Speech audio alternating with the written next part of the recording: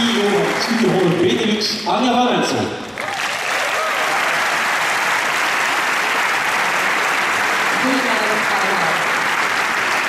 Ik hoop dat jullie heel erg genoten hebben van de voorstelling.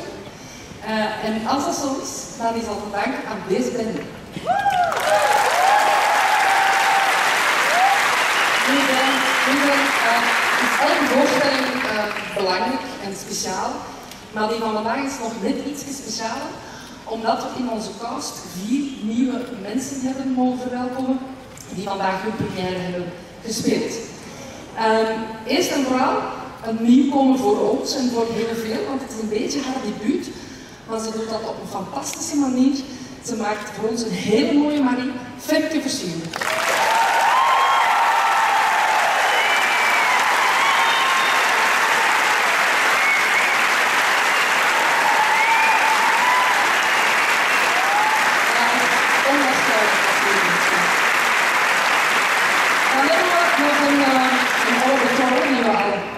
geleden kennen.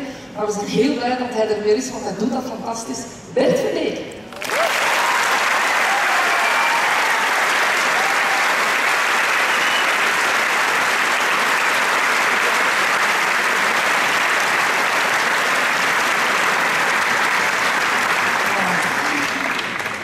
Voor de volgende, we zijn altijd zo blij dat we zoveel métier uh, mogen verwelkomen. Het is echt een hele eer voor ons. En ook vandaag dus gaat dit fantastisch. Pine Embrechts.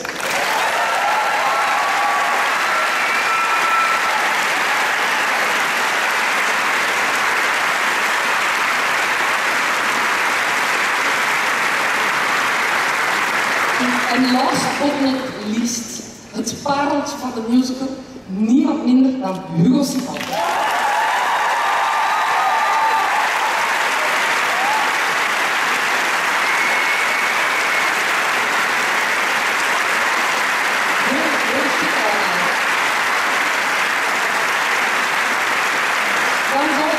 Sivan.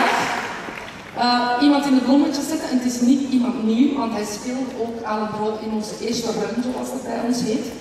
Maar hij maakt van, vandaag voor ons, en hopelijk ook in de komende, echt een hele mooie Jan. Zoveel talent. Michiel de.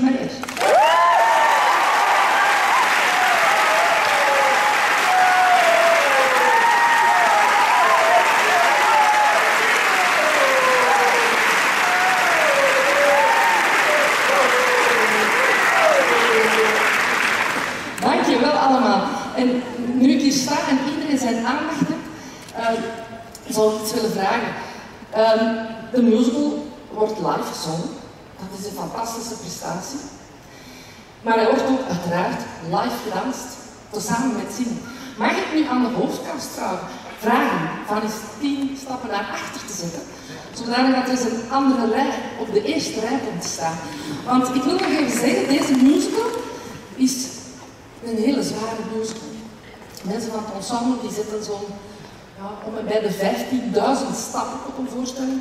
Omkleden, steld zijn, op de plaats staan, juist zingen, alle rollen spelen. Dat gaat alleen, zij dragen die musical, zij zijn het hart, zij maken de grootheid. En dat kun je alleen maar doen als je onwaarschijnlijke talenten hebt, keihard werkende mensen die echt een applaus verdienen en daarvoor heb ik jullie nodig. Dankjewel.